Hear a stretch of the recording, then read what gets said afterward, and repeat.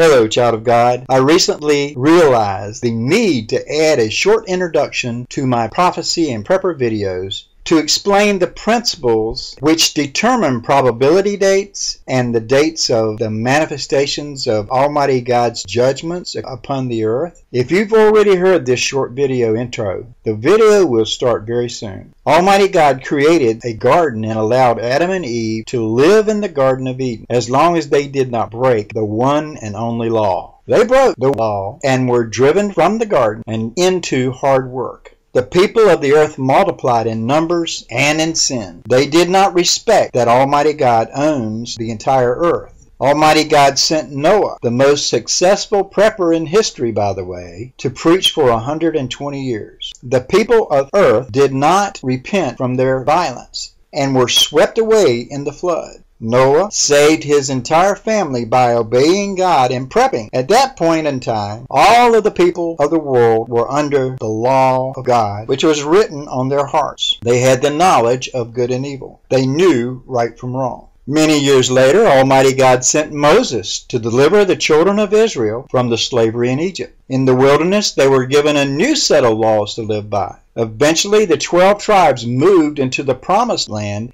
and lived there for a while under the new set of laws given by Almighty God. So God was judging Israel by one set of laws, the laws of Moses, and the rest of the world by the law written on their hearts, the knowledge of good and evil. In the Hebrew law, there is a requirement to keep the seventh day holy and rest. The law also required Israel to let Almighty God's land rest on the seventh year, and again also on the fiftieth year. The fiftieth year is called the Jubilee. Almighty God gave them a lunar calendar to keep track of the months and all of the feast. The children of Israel disobeyed these laws and were sent into captivity for 70 years. They were still under the law while in captivity, but Almighty God forced the land to be at rest. After 70 years, Almighty God brought some of the Israelites back to the Promised Land. And the sin cycle continued until the manifestation of the Lord Jesus Christ as the King of the Jews. The Lord Jesus Christ offered Israel a new set of laws, the laws of the kingdom of God. The Jews as a nation rejected their King and Redeemer. At this time, roughly AD 30, the world now had three sets of laws from Almighty God the law written on the heart, the knowledge of good and evil, the law he gave the Hebrews, and the laws of the kingdom of God. In revenge for the rejection and the murder of his son, Almighty God allowed the Romans in AD 70 to destroy the land of Israel and disperse all the surviving Jews to other nations. The Jews lost all access to Almighty God's land. We will call the dispersed Jews in the world as Zion. Almighty God sees the end from the beginning and the beginning from the end. He had placed prophets in many different generations to reassure that the dispersed Jews would return to the promised land one day. Almighty God never gave up on his people, and he never lifted the laws of Moses from Zion. No matter what land they lived in, the law had been given to the children of Israel and it applied to them wherever they were. But God's land rested. Almighty God also promised through his prophets that the Lord Jesus Christ would one day return and that Israel would look upon him whom they had pierced. Israel became a nation in one day, May the 14th, 1948. This was a fulfillment of many prophecies. The Lord Jesus Christ told us that the generation that sees these things happen would not die before his return. The world is judged by the law of the heart, the knowledge of good and evil. Zion by the law of Moses, and born again Christians by the laws of the kingdom of God. For if through the offense of one many be dead, much more the grace of God and the gift by grace, which is by one man, Jesus Christ, hath abounded unto many. And not as it was by one that sinned, so is the gift. For the judgment was by one to condemnation, but the free gift is of many offenses unto justification. For if by one man's offense death reigned by one, much more they which receive abundance of grace and of the gift of righteousness shall reign in life by one, Jesus Christ. Therefore, as by the offense of one judgment came upon all men to condemnation, even so by the righteousness of one the free gift came upon all men unto justification of life. For as by one man's disobedience many were made sinners, so by the obedience of one shall many be made righteous. Moreover, the law entered that the offense might abound. But where sin abounded, grace did much more abound that as sin hath reigned unto death, even so might grace reign through righteousness unto eternal life by Jesus Christ our Lord. For when ye were the servants of sin, ye were free from righteousness. What fruit had ye then in those things whereof ye are now ashamed? For the end of those things is death. But now being made free from sin, and become servants to God, ye have your fruit unto holiness, and the end everlasting life. For the wages of sin is death. But the gift of God is eternal life through Jesus Christ our Lord. Zion's largest population outside of Israel is in the USA. They control a greatly disproportional amount of the national wealth of the USA. At present, it may be the safest place in the world for Jews to live. However, when the U.S. economy crashes, the Jews will be blamed and lose their safe haven. I believe they'll be driven to Israel. Historically speaking, Zion has always been blamed for the world's problem. Jerusalem will be trampled down under the feet of the Gentiles until the time of the Gentiles is complete. Israel is our end time prophecy time clock. They are under the law of Moses, and we can see the hand of God in the world by watching what happens to Zion and to Israel. In this video, I used the lunar calendar and the law of Moses, which are both still in full effect. Almighty God is speaking and sending the signs of the end times to his people. Soon he will send two prophets to preach in the streets of Jerusalem. They will be preaching, Repent, the kingdom of God is at hand. The entire world is again deeply submerged in sin and rebellion against Almighty God. This is especially in the USA. Just as in the days of Noah, the whole world is filled with violence. Almighty God is again taking away the land from the world of sinners and allowing a few believers to survive. The only perfect preparation that we can make as preppers is have a right relationship with the Lord Jesus Christ, to whom much is given, much as expected. And now, child of God, please watch the video. Hello, child of God. The purpose of this video is to discuss the probable time of the upcoming world financial disaster by using Israel as our end time prophetic time clock. We will also discuss the upcoming four blood red moons, but first of all, a possible plan for prepping for the upcoming disasters and Jerusalem shall be trodden down of the Gentiles, until the times of the Gentiles be fulfilled. And there shall be signs in the sun, and in the moon, and in the stars, and upon the earth distress of nations, with perplexity, the sea and the waves roaring, men's hearts failing them for fear, and for looking after those things which are coming on the earth, for the powers of heaven shall be shaken. And then shall they see the Son of Man coming in a cloud with power and great glory.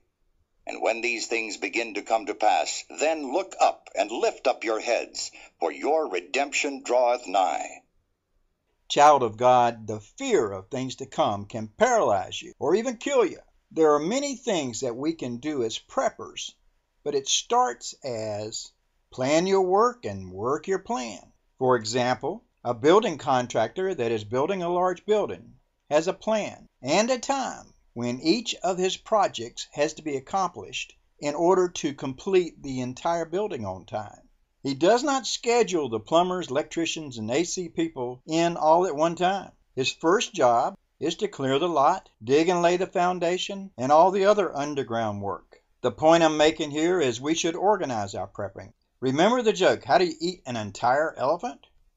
Well, one bite at a time, silly. Start by laying out a plan for a year or so. Keep your tasks and goals reasonable. Everybody wants a 100 kW generator with enough gas to run it for two years. However, for most of us, it is a totally unrealistic goal. You can only live around three days without water. So this should be our first task. Plan for the total loss of your water supply. Now, I do not have a bug out bag or bug out supplies. My personal plans are to stay here in my house and deal with whatever issues come my way. And being a pastor, I plan to give and share my stuff. However, this may not be a practical plan for you and your family. My home is my castle. My water supply plans are located here in the castle. I trust in Almighty God to bless and protect my house. I've set this little graph up similar to a contractor would set up his building plan. But instead of having a plan for the underground work to be done in the first month, my plan shows that water will be done in the first month. And then sometime in the second month, I'll store up the ready to eat meals. And sometime in the third month, I'll set up all my cooking facilities, wood burning stoves and so on, gas. And sometime in the next month, I'll ensure the boundaries around my property are as safe as I can possibly afford to make. These are just an example of my plans. You may need to bug out. You may need another piece of property and so on. But no matter what, Securing a good, clean, potable water supply should be your highest priority, and you need to do it while you still can. As an example, I break my water supply month down to weeks and even days. This graph is an example of my water supply plans. The water supply being the highest priority, it's in the first month, and I plan to do a little bit each day and accomplish something each day. I'm going to eat the elephant one day at a time. I have some water stored up in milk jugs, but I bought several gallons of Clorox. Clorox ensures that I'll be able to sanitize my entire house even if I have dirty water that I'll be able to treat the water that I filter to be potable water. And Clorox is an excellent item to barter later, but I feel like I cannot lose by storing up several gallons of Clorox. Well, how much Clorox should you store up? I'd say one gallon per person in your household is a pretty good rule of thumb, but that's kind of the minimum. I don't know what your budget is, but double it or triple it, it can always be used for bartering later. The largest supply of new water that I will have after disaster will be the rain. So I am purchasing the parts and making the cuttings and getting everything fitted together so that on short notice I can modify my rain gutters to become a water supply for flushable water, for potable water, for anything that I need water for. With this, I have rain barrels, water jugs, water barrels, filtering systems, and so on. I go each day and I do a little something else in order to increase the possibility of having plenty of water. But like I said, I'm a pastor, so I have to think a little more outside of the box. I need an excess of rainwater, and I have a plastic swimming pool that I can fold out and dump water from the gutter system into the pool, and that can be used as potable water if it's filtered and treated. And then I'm working on drilling a well on my land, and I'm already working on building the pumps. On another video, I show you example of some real simple pumps. Later on in the month, I'll be working on the plumbing systems. The internal plumbing of the house will have to be changed for the rainwater system for my convenience. For example, a 50 gallon tank in the attic will supply enough rainwater that I can flush my toilet very often if it's plumbed in properly. So I establish all the parts that I need first. Assembly is not really that necessary at this moment. The same goes with the drains. The drainage system has to be dumped somewhere. Eventually, the drains will back up because the city won't be pumping out the sewage.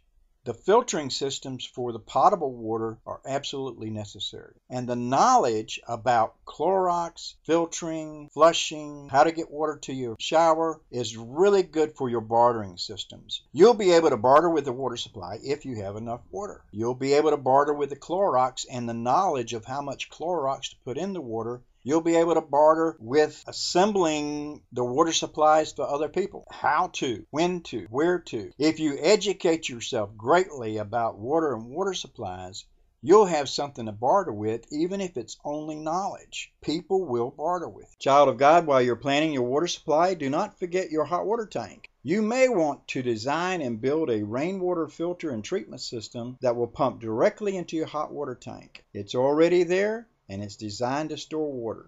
Remember the recent hype about the Mayan calendar and the end of the world in December 2012? I searched YouTube today for the Mayan calendar 2012, end of the world, and there were about 156,000 hits.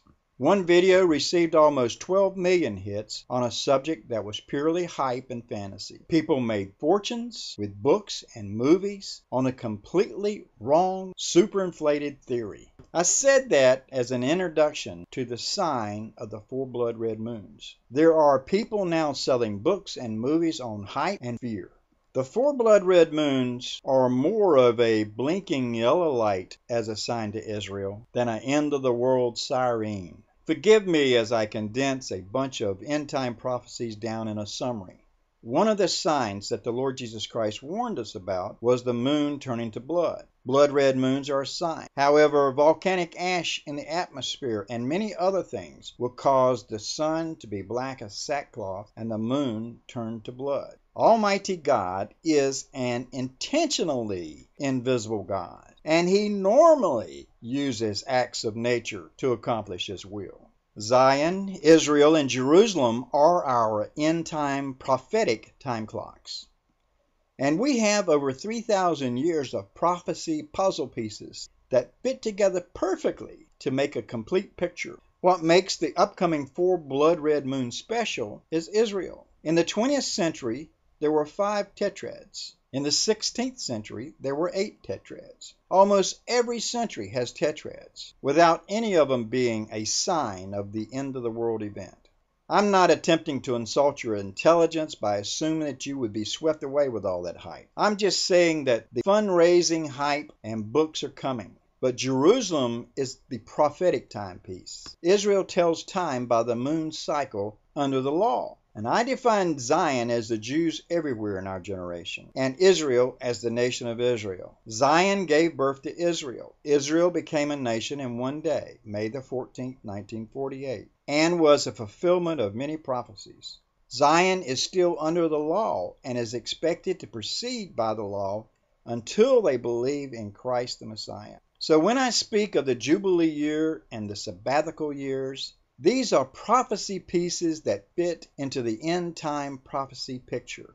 Zion is judged for obeying and disobeying the law. Israel is defended because of the prophetic promises. Zion has never been delivered of the law. Since the time of Moses, they have always been under the law. They have always been blessed for keeping the law. They have always been cursed for breaking the law. And the law requires them to work six and rest one. The law requires them to allow the land to rest on the Sabbath year and on the Jubilee year, the 50th year. The blessings are there if they do it, the curses are there if they do not do it. Now let us look at the upcoming sabbatical year between the 25th of September 2014 and 13th of September 2015. That is a sabbatical year. The year before that is a year of preparation where the blessings blessings come in, the double harvest, the bumper crop, to give the agricultural blessings in order to feed the nation during the sabbatical year. Well, this for us is a year of preparation between the 5th of September 2013 and the 24th of September 2014.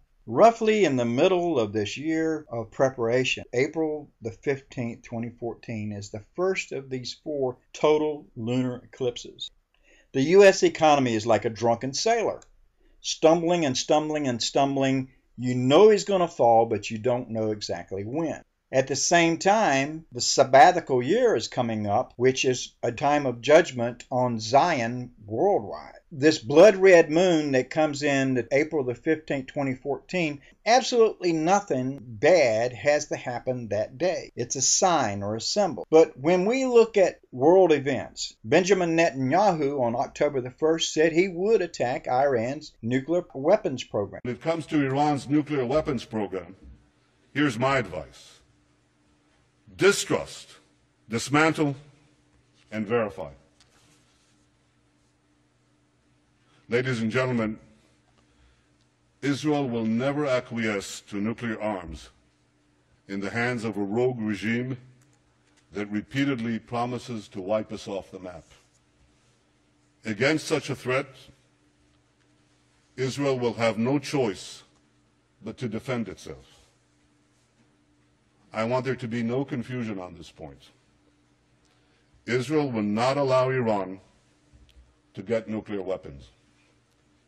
If Israel is forced to stand alone, Israel will stand alone. Yet in standing alone, Israel will know that we will be defending many, many others. Uh, grueling sanctions regime, they got that. They're paying nothing because they're not reducing in any way their nuclear uh, enrichment capability. So Iran got the deal of the century, and the international community got a bad deal. This is a very bad deal. Uh, and Italy, Israel utterly rejects it, and what I'm saying is shared by many, many in the regions, whether or not they express it publicly. Israel is not obliged by this agreement, and Israel will do everything it needs to do to defend itself and to defend the security of its people. That is true also of our negotiations with the Palestinians. I will never compromise on Israel's security and our vital interests, not in the face of any international pressure. I think the pressure has to be put where it belongs, that is, on the Palestinians who refuse to budge. But I think in any case, no amount of pressure will make me or the government of Israel compromise on the basic security and national interests of the state of Israel. And the people of Israel know this, and they support it as they should. Well, what happens when he attacks Iran's nuclear weapons program is that Iran will retaliate. Both Israel and Iran have been preparing for this war for many years. This also points to the Ezekiel 38 and 39 Gog and Magog war, where Russia, who is in bed with Iran and the other nations, leads the attack on Israel. Even if the Gog and Magog war doesn't come immediately, as soon as Israel attacks Iran, the Middle East will go into conflict, oil prices will skyrocket, and the drunken sailor U.S. economy, U.S. dollar is going to hit the ground. Whenever that is, I don't know. They will attack Iran's nuclear weapons program. It will cause a war in the Middle East. Does the drunken sailor U.S. economy fall to the ground before this happens, or after this happens, or because this happens? Is this the final push that pushes the economy to the ground? I don't know. Nevertheless, you need to prepare. I need to prepare. Israel will attack Iran. Iran will respond. The whole Turkey and Saudi Arabia and all of those nations will be affected, even if it doesn't become the Gog and Magog war. The next blood red moon comes up October 2014. Wow.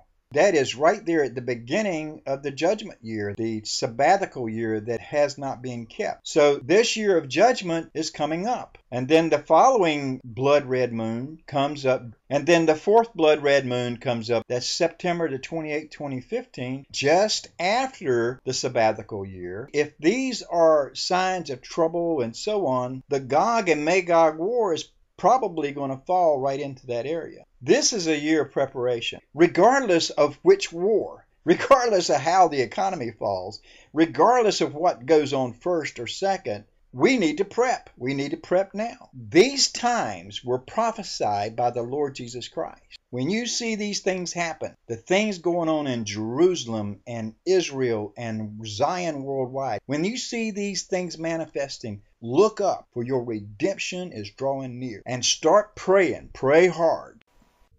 So also, when you see these things taking place, you know that the kingdom of God is near.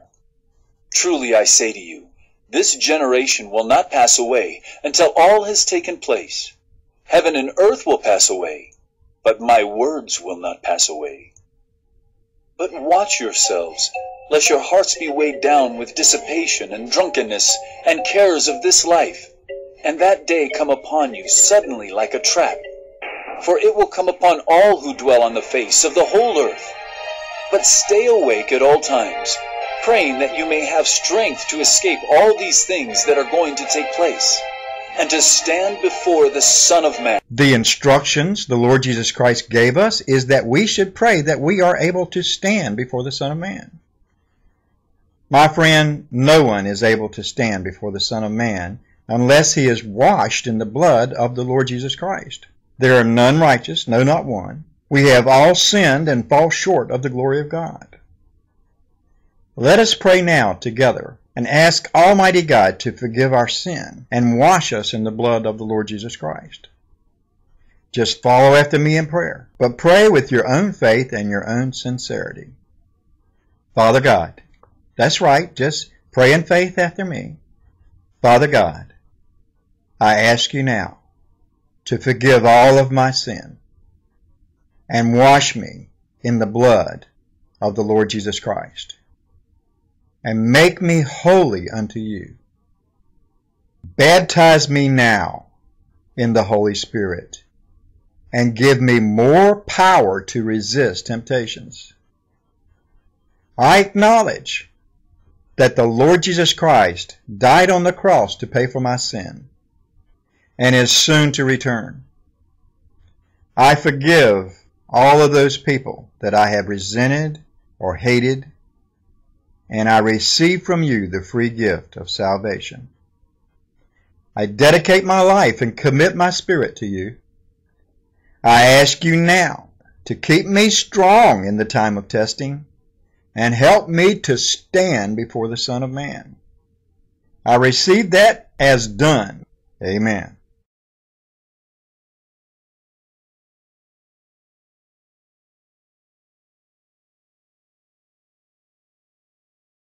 Thank you for praying with me, child of God. If you'd like to see more videos on the baptism of the Holy Spirit or on end time prophecy, please click the links at the end of the arrows. May God bless you. Peace be unto your house.